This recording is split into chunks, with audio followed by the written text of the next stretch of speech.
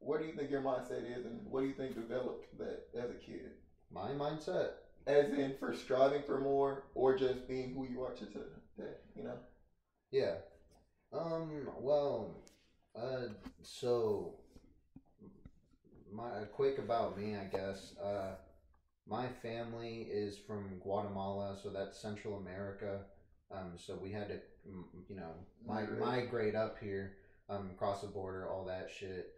Dude, li- literally, I've never really got the full story of how they even got here, dude. Really? Legit. Did you ask?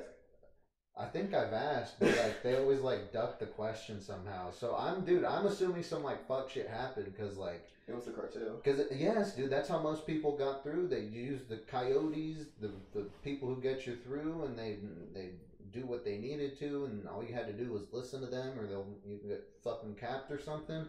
Um, so I'm sure some crazy shit happened, and they don't want to ever talk about it. But I mean, I'm just curious on how the fuck I got here. Um, but yeah, dude. So we're from. I was born in California. When my parents got to California, that was originally where they went. So my my grandma was there. My uncle was there. Our cousins were there. We had family there, so we all went to California, Los Yeah. Angeles. Um, and the place we used to live was actually like in like central Los Angeles. Like we were in like Compton?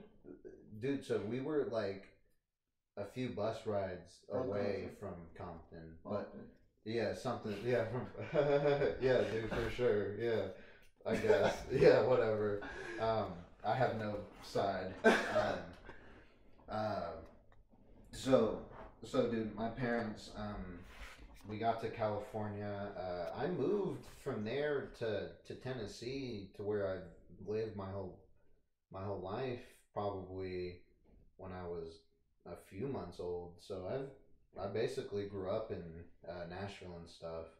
Um, but I mean, I think growing up in Nashville and Tennessee helped uh, a good bit. I think being raised in the South, low key, is probably a really good thing for most individuals. They make I mean, people are really. I mean, I think we're pretty polite. We say "ma'am," "sir." We hold fucking hold the doors for people Yeah. we go a little bit more out of the way. We're super comforting when people come home. I think that that's a good thing to instill in children, especially me, dude, because I, I we've never been to America. Like Yeah. I'm learning how everything is working now, like as, as, like along with my family and stuff. So I think Tennessee was good for me and my development personally, especially compared to California where where I was living there was gangs and tons Yeah. of violence, fucking what you said earlier, fucking You- you- Bompton. You be a uh, MS-13?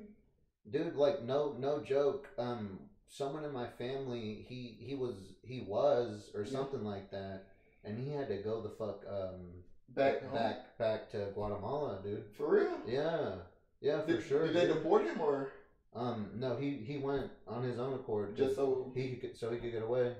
Damn. Yeah, for sure. So, um, no, dude, I think um, it's it's for right now. I think uh, Tennessee really helped instill a bunch of good morals in me, and I'm never gonna hype up Tennessee like Never. that. Never. But I'm gonna say I think it helped a ton in For you. for my fundamentals as a person.